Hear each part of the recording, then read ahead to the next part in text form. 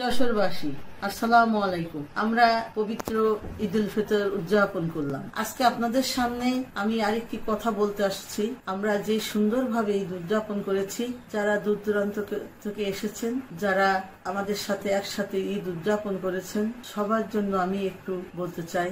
আজকে আপনারা জানেন যশোর সব থেকে বেশি এই করোনা আক্রান্ত হয়ে প্রায় সাতানব্বই জন অসুস্থ হয়ে আছে খুলনা বিভাগের মধ্যে আটজন মারা গেছেন। আমরা যদি সতর্ক থাকি, আপনি যদি সতর্ক থাকেন ইনশাল্লাহ করোনা কারোরই হবে না। দূরত্ব বজায় রাখবেন। বাড়ির সবাইকে মাস্ক এবং হ্যান্ড গ্লোভ পরানো অভ্যাস করবেন। আপনি জানেন করোনা একটি ভয়ঙ্কর রোগ। যে রোগটি মানুষের ভিতরে একবার ঢুকলে তাকে ফেরানো খুবই কষ্টকর।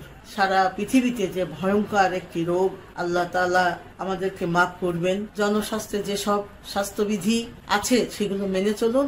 আপনারা বাইরে অযথা আড্ডা দেবেন না। আমি আবারও বলছি আপনাদের, বারবার বলছি, আপনারা ঈদ পুনর্মিলনী নামে সকাল, বিকাল, দুপুর, রাত্রে এক জায়গায় বসে আড্ডা দেবেন না। মুখে মাস্ক পরুন, হাতে গ্লোভস পরুন। হাত সাবান দিয়ে বারবার ধরুন আমরা নাকে মুখে আপনাদের হাত বারবার উঠে না আসে। অযথা আমি আবারও বলি, আপনারা অযথা আড্ডা দেবেন না। আপনারা ঈদের আনন্দ ঘরে বসে ভাগাভাগি করে নিন। মনে রাখবেন, আপনি কিন্তু আপনার বাড়ির বড় ডাক্তার।